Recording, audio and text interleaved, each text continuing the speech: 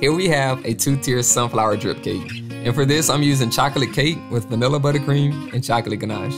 But now, it's singing time.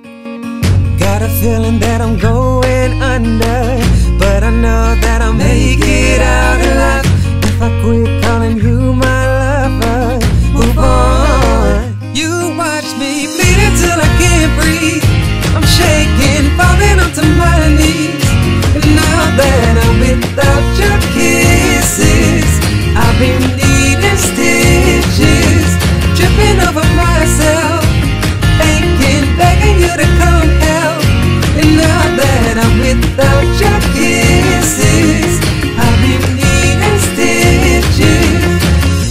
now it's time to create the sunflower and I'm using a leaf tip for this.